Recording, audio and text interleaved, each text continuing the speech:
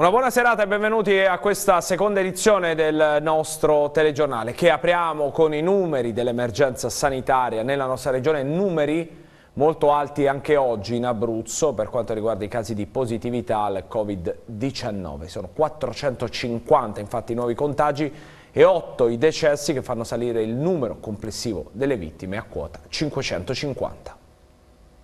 Sono 450 i casi di positività registrati oggi in Abruzzo di età compresa tra i 9 mesi e i 96 anni su 3.887 tamponi eseguiti, pari dunque all'11,5%. Superano quota 6.000 con gli ultimi dati gli attualmente positivi al coronavirus in Abruzzo, con i nuovi casi al netto dei decessi e delle guarigioni sono 407 in più e arrivano a quota 6.203.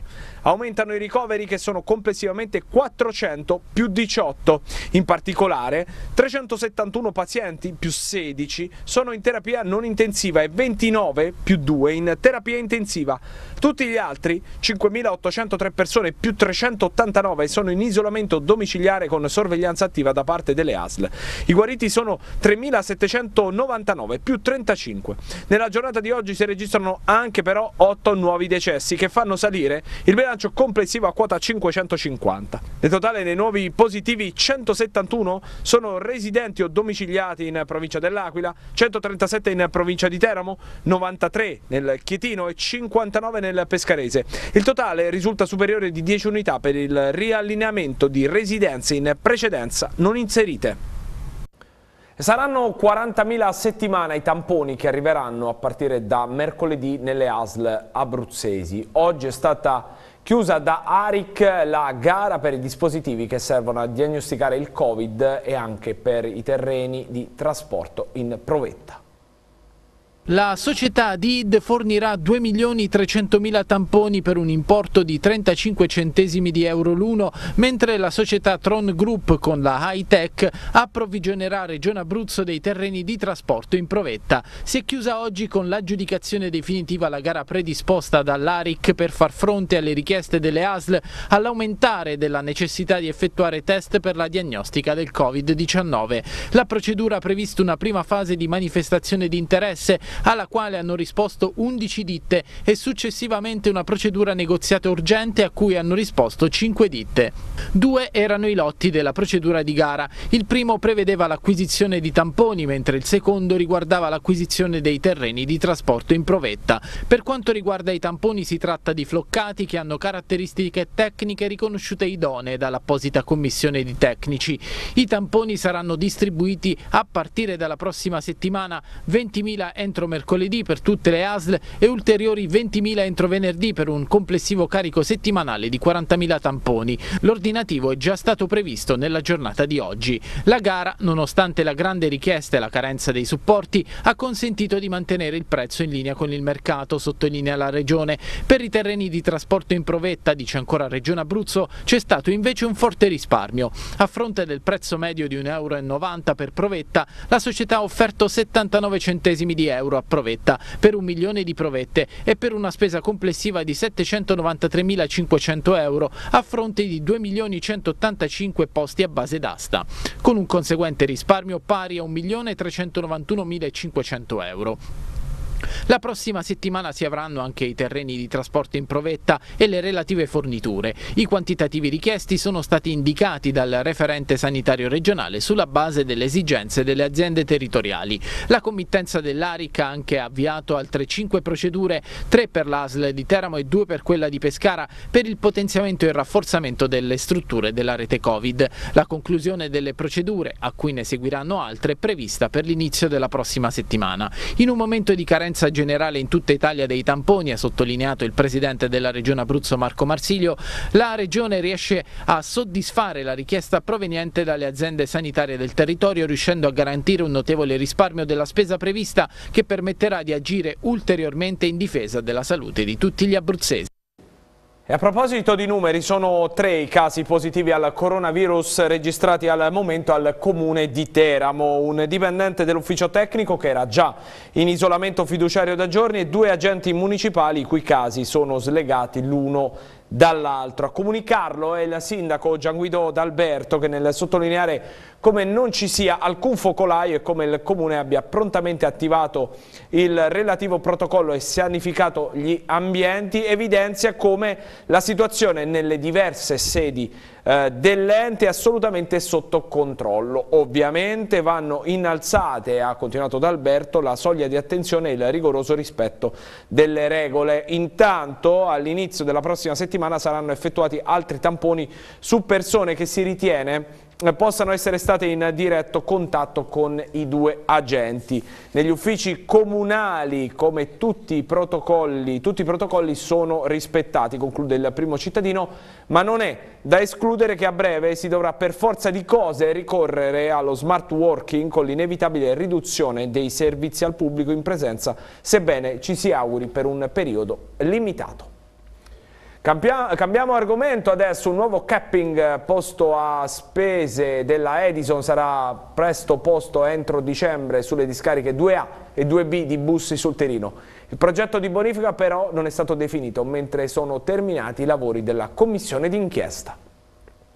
Arriverà il capping anche sulle aree delle discariche 2A e 2B di Bussi sul Tirino rimaste finora scoperte. Si tratta del telo che impedisce all'acqua piovana di attraversare i rifiuti tossici, andando poi a contaminare le falde acquifere. Il lavoro, del valore di 2 milioni, sarà completato da Edison entro dicembre. Credo che entro dicembre Edison ce la farà, parliamo di 29.000 metri quadri, quasi 3 ettari di rifiuti, 150.000 metri cubi di rifiuti che sono dal piano di calpestio fino a 4-7 metri in alcune circostanze. Il capping però, anche considerando quello nuovo, non ricopre tutte le aree inquinate ed è una misura che nulla ha a che fare con la bonifica e che non garantisce una sicurezza del 100%. Anche il capping in realtà non garantisce sempre zero inquinamento, ci sono delle analisi dei piezometri ma anche delle analisi fatte sulla qualità dell'aria che dimostrano che laddove il capping c'è inquinamento c'è ancora. E l'Arcadis, la multinazionale olandese che si occupa di ingegneria ambientale, ha certificato che da luglio 2018 quei meccanismi posti dalla Solvee per raccogliere l'acqua inquinata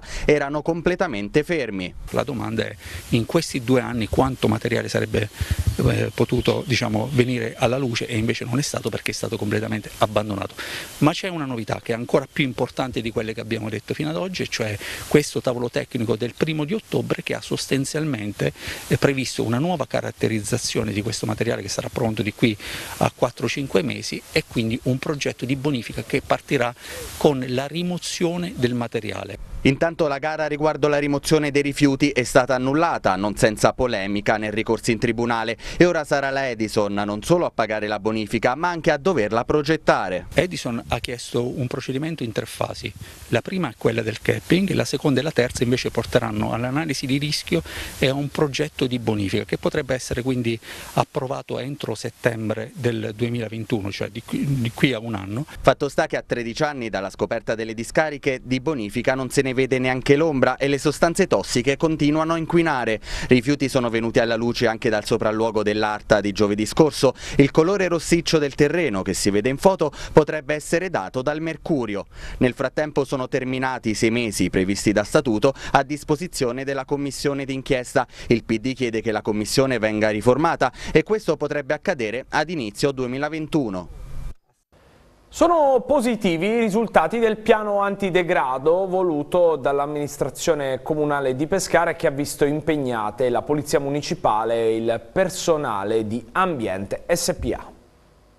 Una lotta senza quartiere da parte dell'amministrazione comunale di Pescara per chi sporca, per chi inquina, soprattutto per chi eh, getta rifiuti ingombranti in città. 151 persone sono state già individuate, Sindaco.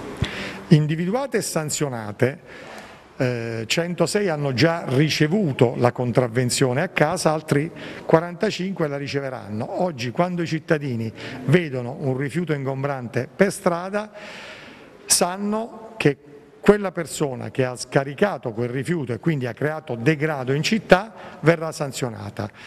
A oggi ci sono 23 telecamere fisse e mobili che fanno questo controllo, tra breve ne avremo 38 che copriranno capillarmente tutto il territorio di Pescara, perché i cittadini ce l'hanno chiesto di avere un controllo più puntuale sullo scarico dei rifiuti ingombranti. Noi abbiamo organizzato un servizio che sta dando i suoi frutti perché in un mese, dal 15 settembre al 15 ottobre, abbiamo avuto 151 sanzioni. Quindi da oggi in poi, quando qualche cittadino vedrà un rifiuto ingombrante per strada, potrà pensare tranquillamente che quella persona sarà sanzionata e io credo che questo bloccherà questo sistema. Oltretutto alla sanzione per alcuni casi eh, specifici si aggiunge anche il sequestro del mezzo perché se si commette un illecito penale su alcune tematiche il, il mezzo viene sequestrato. Già ne abbiamo sequestrati alcuni perché oltre alle telecamere abbiamo in azione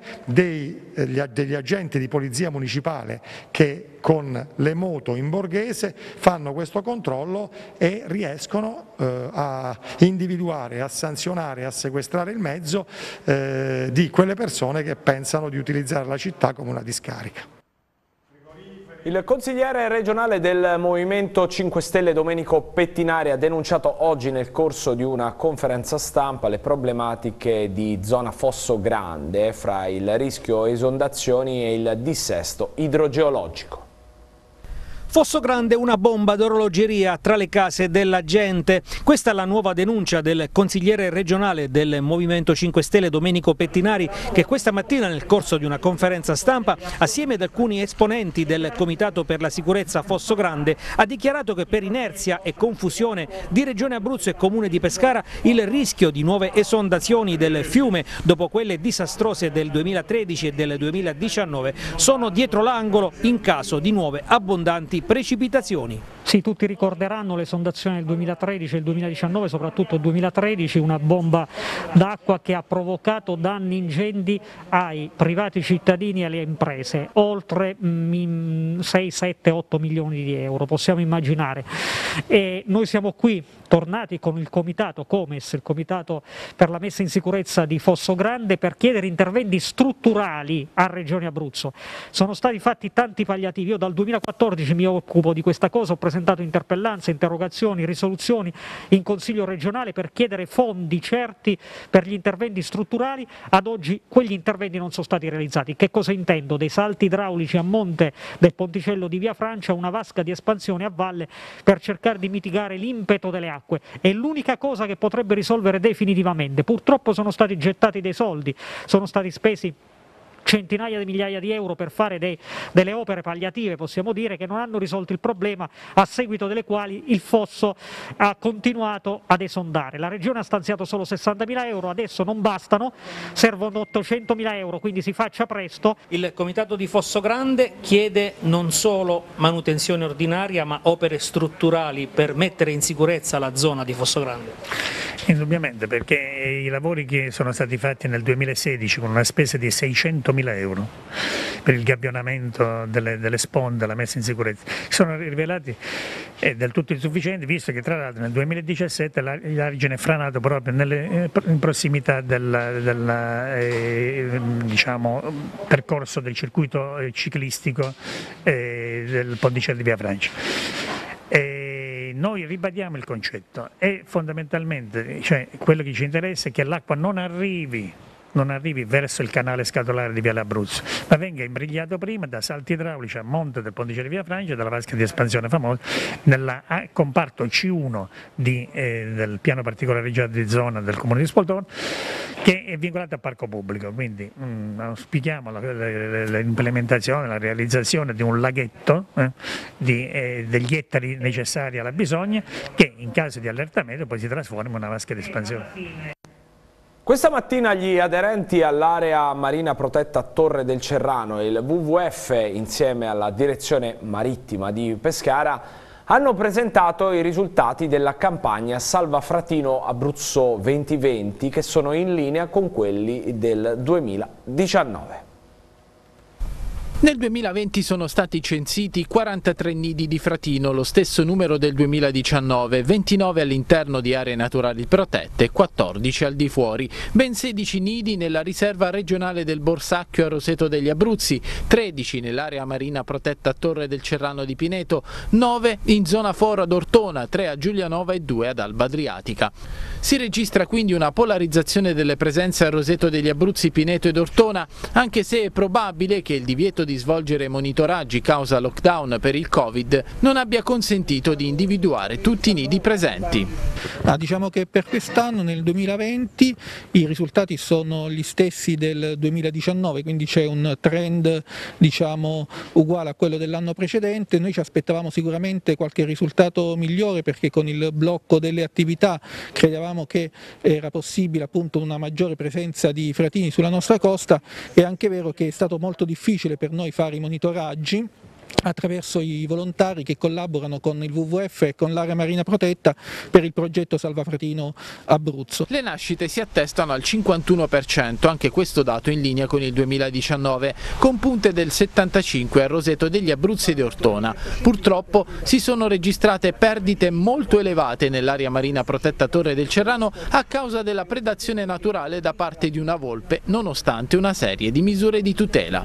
Le criticità restano sempre anche perché quest'anno abbiamo avuto un'annata molto particolare, quindi da una parte il lockdown ha favorito una serie di, di, di nidi, poi però eh, ci sono stati fenomeni che li hanno ridotti, quindi un po' di predazione naturale, un po' altri fenomeni, per cui abbiamo anche come dire, fatto dei passi avanti capendo dove bisogna andare a migliorare le criticità. Adesso apriamo la pagina di sport, penultima seduta di allenamento in Casa Pescara prima dell'impegno di lunedì sera a Lecce con Setter pronto al rientro da verificare il difficile tentativo di recupero dell'altro attaccante Raul Assensio. Il tecnico biancazzurro Massimo Oddo confermerà la difesa a 3 dove un posto toccherà al giovane Gut dopo la buona prova in Coppa Italia di Parma a Lecce per cercare quella scintilla che possa invertire il trend di un brutto inizio di stagione. Il calendario non sembra dare una grossa mano ad un Pescara ancora alla ricerca di se stesso. La trasferta salentina di lunedì, poi la bestia nera Cittadella, la sosta e quindi la ripresa con la trasferta di Ferrara. Poco tempo dunque per piangersi addosso e il tecnico Massimo Oddo vara il piano d'emergenza confermando la difesa coi tre centrali, vista col Frosinone fino all'infortunio di Drudi e tenuta per 90 minuti nel match di Coppa Italia di Parma. Una partita nella quale si è ben comportato il giovane Rodrigo Gut all'esordio in biancazzurro. Buona prova nelle retrovie e poi l'affondo che ha originato il gol della bandiera biancazzurro. Con il lancio tra i titolari del brasiliano proveniente dall'Atalanta, Oddo prova a compensare l'assenza di Mirko Drudi che starà fuori un mese dopo la brutta distorsione rimediata col Frosinone. I tre mancini Bocchetti, Scognamiglio e Jarosinski si contendono poi le altre due maglie. Sul binario di destra si dovrebbe rivedere Raul Belanova dopo lo stop forzato causa Covid Covid, una settimana piena di lavoro per il laterale, pronto a sgasare sul manto del Via del Mare, mentre a sinistra Masciangelo deve guardarsi dalla concorrenza di Inzita. I tre interni saranno Valdifiori in cabina di regia e poi Memusciai e Maestro, cui Oddo ha risparmiato la trasferta di Coppa Italia per dare priorità al lavoro in vista del posticipo in terra salentina. In avanti tocca di nuovo a Seter, il Pescara recupera uno dei suoi centravanti, pronto a far coppia con Galano. Per la convocazione, comunque difficile, di Asensio, si deciderà nelle prossime ore. Il giocatore scalpita ma lo staff medico non vuole forzare i tempi. In casa Lecce non ci saranno il tecnico Eugenio Corini e il difensore Luca Rossettini, entrambi squalificati per una giornata dopo l'espulsione rimediata domenica scorsa a Cosenza. Il difensore peraltro era in panchina, punito per una espressione blasfema come si legge nel comunicato. A dirigere la squadra lunedì sarà il vice Salvatore Lanna, verso il forfè l'ex Falco, Dermaco e Liskowski. Potrebbe giocare dal primo minuto Mancosu dopo gli acciacchi di questo inizio di stagione. Il fantasista agirà alle spalle di Stepinski e Coda. In difesa Meccariello prenderà il posto di Dermaku. Trio di centrocampo con Henderson, Taxidis e Maier. Circa i precedenti, nel 2019 il Lecce di Liverani si impose 2-0 sul Pescara di Pillon, con le reti di Mancoso e Lamantia. 10 le vittorie salentine al Via del Mare, dove il Pescara invece non vince dal 99, 0-1 con gol partita di Sasasullo. L'ultimo pareggio nell'87, 0-0. Direzione di gara per Daniel Amabile di Vicenza, porta fortuna di entrambe. Per il Lecce ci sono due vittorie in Serie C nella stagione 2017-2018, con il Pescara sempre due successi, lo scorso campionato, Livorno-Pescara 0-2, Pescara-Juve Stabia 3-1. E come avete sentito nel servizio, uno dei tre posti da interno di centrocampo andrà a Fabio Maistro, una delle poche note liete in questo inizio di stagione. Lo ascoltiamo nell'intervista. Fuori dubbio che Fabio Maistro in questa prima parte di campionato è una delle poche note liete di questo Pescara. Soddisfatto almeno a livello personale di questo avvio di campionato? Sì, a livello personale sono molto contento perché comunque ho fatto tre partite e due gol, quindi diciamo è un inizio che per me è importante. Speriamo di farne altri, dai. Inizio positivo per te a livello personale, molto negativo per la squadra, un punto in cinque partite, è già suonato il primo campanello d'allarme, inutile girarci attorno. Sì, eh, c'è qualcosa che non va, si vede credo agli occhi di tutti, però comunque noi non ci buttiamo giù perché il campionato è lunghissimo e ci sta che ci sia stata qualche, diciamo che non ci siamo capiti tra di noi, cosa volevamo quindi piano piano lavoriamo, testa bassa e speriamo di riprenderci il prima possibile dai. Pochi giorni fa c'è stato anche un incontro un faccia a faccia nello spogliatoio con l'allenatore, insomma quali sono secondo te secondo voi i problemi di questa squadra fisici, psicologici? Abbiamo parlato insomma dei, che problemi ci sono, che problemi non ci sono, solite cose da spogliatoio, insomma, insomma ci siamo chiariti su quello che vogliamo, gli obiettivi e, e vediamo di mantenere la, la, parola data anche al mister. Tra poco la parola tornerà al campo, eh, ci sarà lunedì questo posticipo in casa del Lecce, un'altra partita sulla carta quasi proibitiva. Ma io credo sia una bellissima partita, andare a Lecce e fare risultato credo sia, cosa, sia, una cosa importante, già dare una risposta positiva insomma, ai tifosi e alla società, quindi speriamo di arrivarci il meglio possibile. Io ho avuto un acciacco insomma, contro l'Empoli alla caviglia, avevo un po' di edema, ora l'ho recuperata tutta quindi mi sto allenando, ma ho voluto fare ancora un po' di allenamento a parte insomma, per farmi riprendere al 100%, ora sto bene quindi credo di arrivare in perfetta condizione. Oddo spesso ha mandato in campo la squadra con il 4-3-2-1 e questo è il modulo eh, in cui ti trovi meglio? Preferiresti giocare in un'altra posizione, con un altro modulo? No, eh, come ho detto nella, nella, scorsa intervista che ho fatto nella partita contro, contro l'Empoli che mi avevano chiesto qual era la mia posizione preferita, non ne ho una preferita, io e mister mi mette sempre dove sa che posso far bene, dove posso dare, dare alla squadra qualche iniziativa. Io trequartista, mezzala, esterno, comunque credo che posso farli tutti quanti perché comunque eh, ho sempre fatto bene, a Salerno ho giocato mezzala quasi tutto il campionato, eh, poi mi ha messo il mister tre quarti, ho fatto anche qualche golletto, quindi alla fine mi trovo bene in tutte le parti. Adesso andiamo in Serie C perché tra poco alle 20.30 scende in campo il Teramo contro la Paganese al Marcello Torre di Pagani. Anticipo questo nella giornata numero 8 del campionato di Serie C Girone C. Gara che era inizialmente prevista per questo pomeriggio alle 15 e eh, posticipata alle 20.30 perché in mattinata c'erano stati i risultati dei tamponi eh, del gruppo squadra della Paganese che avevano evidenziato sette positivi eh, appunto tra i eh, campani. Eh, test che sono stati ripetuti oggi mm, eh, hanno dato gli esito negativo dunque come da comunicazione della Lega Pro si scende in campo alle 20.30 non alle 15 con il Teramo che che cerca un altro risultato positivo dopo l'avvio eh, molto buono di campionato che ha fruttato 14 punti in 6 partite. Peraltro in casa biancorossa la serie di tamponi effettuati nella giornata di oggi del gruppo squadra ha dato esito negativo e dunque eh, sarà regolarmente in campo la formazione di Massimo Pace alle ore 20.30 appunto contro la Paganese. In Serie D adesso a causa del Covid sono appena quattro le partite che si disputeranno domani per la sesta giornata del girone F. Tra le abruzzesi in campo solo il Pineto in trasferta a Tolentino e il Castelnuovo in casa contro il Monte Giorgio. Il campionato di Serie D resta nella morsa del Covid in una settimana nella quale il Dipartimento Interregionale della Lega Nazionale Dilettanti ha consultato le 166 società chiedendo loro se proseguire il campionato o sospenderlo fino al 24 novembre, data di scadenza del DPCM in vigore. La risposta è stata chiara, con una netta prevalenza sulla continuazione del campionato, ma le difficoltà sono sotto gli occhi di tutti e questa domenica ben 5 partite sono state rinviate e si aggiungono alle 4 di domenica scorsa e un'altra relativa a due giornate fa. Serie D in un guado, da un lato servirebbe un allentamento dei protocolli, dall'altro molte società di quarta serie non avrebbero la forza di sostenere l'esecuzione di un numero elevato di tamponi o di lavorare, in caso di almeno una positività nel gruppo, dentro una bolla. Andare avanti così vuol dire esporsi ad un numero di recuperi che rischia di diventare abnorme, ecco perché una sospensione del torneo nelle prossime settimane non è da escludere. Nel girone F dunque rinviate Porto Sant'Elpidio Giulianova, Notaresco Aprilia e Recanatese Rieti per casi accertati di positività al Covid e poi Vastese Agnonese e Cinzia Albalonga a Campobasso per la decorrenza dei termini dell'isolamento fiduciario.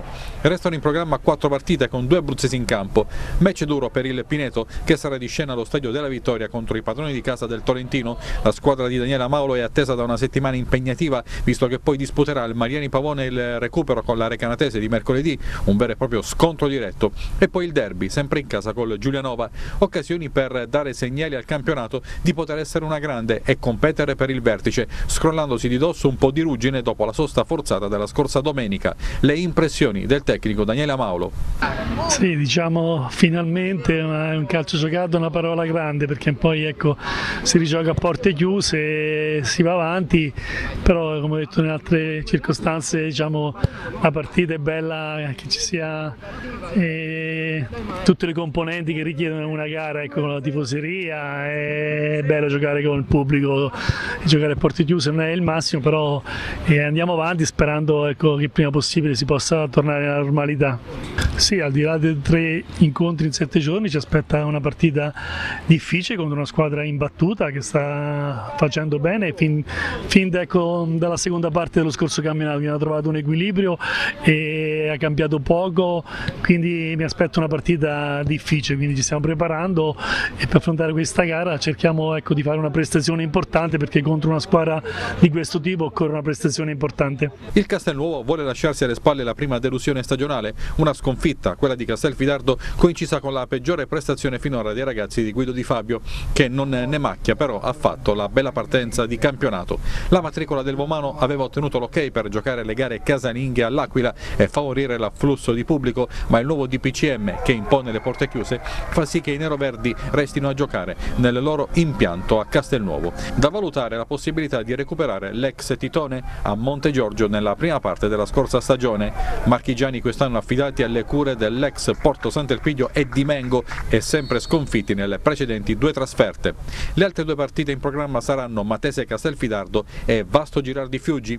In particolare la squadra molisana, dopo aver giocato le gare interne ad Agnone e Trivento, da domani tornerà nel piccolo stadio Filippo Di Tella di Vasto Girardi, dopo oltre un anno di attesa. Terminati i lavori di adeguamento per la Serie D, con realizzazione di manto sintetico, domani ci sarà l'inaugurazione del rinnovato impianto tra i più montani d'Italia, posto a 1200 metri di altitudine. E questo era anche il nostro ultimo servizio, vi ricordo che i contributi che avete visto sono disponibili on demand sulla piattaforma YouTube e anche sul nostro sito web www.tv6.it oltre che sulle nostre pagine social. Prossimo aggiornamento con il nostro telegiornale alle ore 23, grazie per la cortese attenzione e buon proseguimento di serata.